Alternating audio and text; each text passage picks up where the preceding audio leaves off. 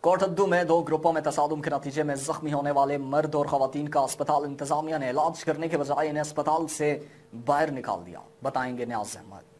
کوٹدو چوک سر رشید کا علاقہ چک نمبر 623 ٹی ڈی اے میں دو گروپوں میں زمین کے تنازع پر تصادم ہوا۔ تصادم میں دونوں پارٹی کے متعدد افراد زخمی ہوئے۔ زخمیوں کو چوک سر رشید ہسپتال منتقل کیا گیا۔ تھانہ چوک سر رشید پولیس نے موقع پر پہنچ کر کاروائی کرتے ہوئے زخمی مرد اور خواتین کو ایم ایل سی کے لیے ڈاکٹر جاری کیا۔ ہسپتال انتظامیہ نے مریض کو طبی امداد دینے کے بعد ایک پارٹی کے چار مرد زخمی اور ایک خواتین کو بغیر میڈیکل بنائے ہسپتال سے نکال دیا۔